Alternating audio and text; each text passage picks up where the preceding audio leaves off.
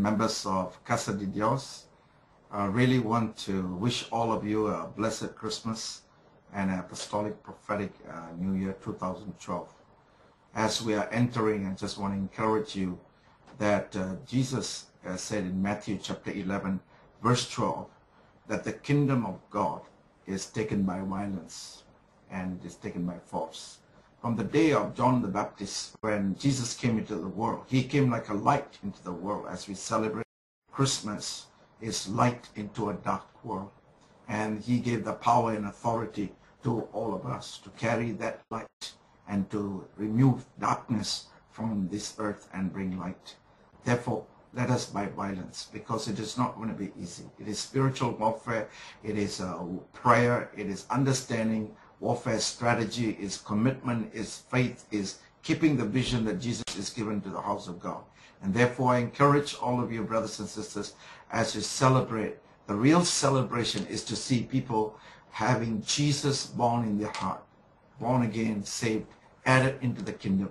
The the darkness taken out of them by violence, by faith, by prayer, and set them free from the chains of Satan and bringing them into the kingdom of light. Second point I'd like to share is Jesus also gave a parable that one is given a talent, another one given two talents, the other was given five talents. When he came back, found out the one who got the one talent didn't understand God, didn't understand his boss, didn't understand what it means to multiply he buried it. But the other two, the, the one with the two talents and the five talents, they worked hard.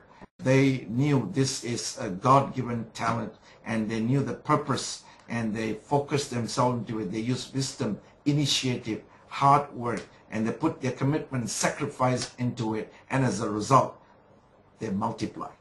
In the same way, each one of us is given gift, calling, grace, talents. Let us use our initiative and put our heart into it, put some sacrifice. So when the Master comes, we are ready. We have done it all, not for man, but for God, so that the reward is eternal. Uh, on behalf of uh, Tabernacle of Holiness Ministry, the Elders Board, the members, Singapore, we want to wish and bless all of you in Casa Dios, uh, a blessed uh, Christmas and a prosperous prophetic New Year as you launch into the great vision that God has given as a church. And I believe in the coming days there's going to be multiplication. And you're going to make war and see people from the dark world coming into the light, that this world will see light more than darkness. God bless you. See you again. Bye. On behalf of my very self, Pastor Bayasoga and Bishop Roland Ike from Lagos, Nigeria, this is reaching the members of Casa de Dios Church in America under the leadership of Pastor Cristobal Lezadama, a wonderful time as you start this new work. We believe that the glory of God and the power of God will be upon you. And we wish you all the best of God in the mighty name of Jesus. We believe that Pastor Cristobal is a wonderful man of God. The anointing of God is upon his life. The hand of God is upon his life. We want to encourage you, you spend time to worship with them and enjoy the presence of God. Your life will be transformed. Your family will be saved. And there will be a blessing upon you. Stay blessed in Jesus' name. Amen. Pere, greetings from Kingdom Epicenter Tartu, Estonia. House of God, rejoice, and again I say rejoice, for the hour has come for you to see God's manifestation. Every word that is released from the throne room of God into your spirit, you shall speak. Do not hold back, do not fear, do not limit yourself, but speak forth. The word of God is like a hammer.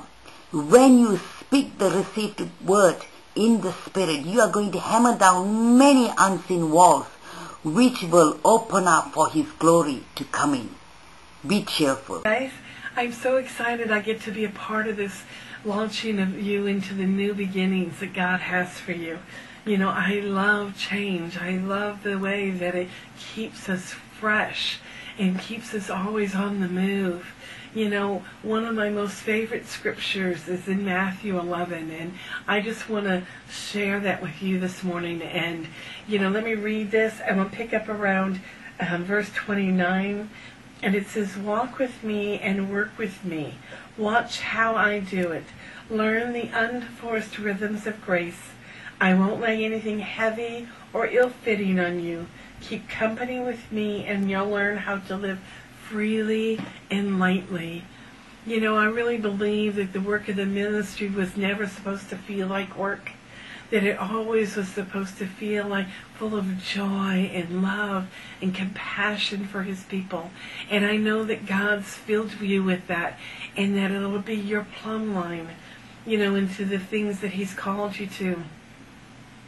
So with great joy and with great blessings, I just encourage you and just know that I'm praying for you guys. I'm here for you and however I can. And I just I just bless you with all the blessings of heaven. And let those joy bells ring. So cheers. See you guys soon.